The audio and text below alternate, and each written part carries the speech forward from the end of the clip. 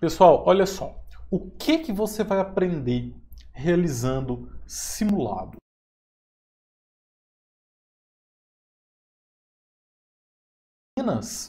Conhecimento jurídico das disciplinas, isso é muito óbvio.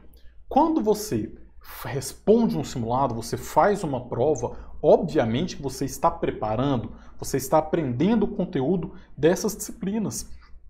Não é à toa que eu falei que uma das melhores técnicas de estudo é a resolução de questões. Porque se você fizer direito, se você. Claro, não estou falando se você fizer o curso direito. Se você responder certinho, direitinho, você aprende muito ao resolver, resolver as questões e principalmente depois, que é quando você faz as correções. Também vou falar mais um pouquinho sobre que, correções de questões, tá? Então a primeira coisa é essa: conhecimento jurídico das disciplinas treinamento do corpo e da mente para a hora da prova, lá na hora da verdade mesmo. E muita gente às vezes não acredita quando eu falo.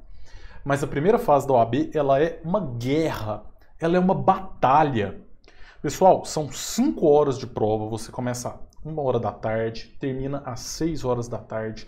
São 5 horas, 80 questões com A, B, C e D cada uma delas. É difícil, é cansativo. E geralmente os alunos eles não estão acostumados com isso.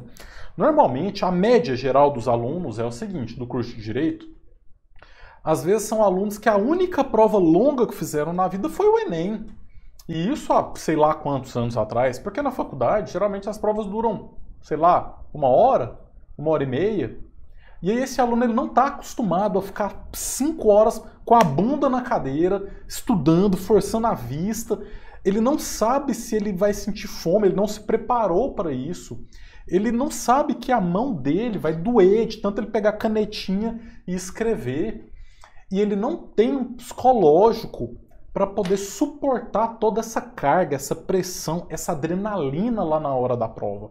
Então, treino do corpo e da mente, você não pode deixar isso só lá para a hora da prova. Você já tem que chegar lá na prova já tranquilo e assim, ó, sereno, sabe? Calmo. Tô preparado. Eu já fiz esse simulado aqui várias vezes.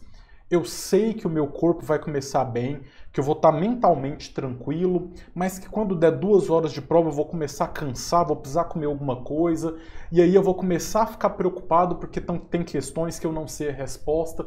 Então você tem que ter, você tem que estar preparado para essa guerra, para essa batalha, tá bom?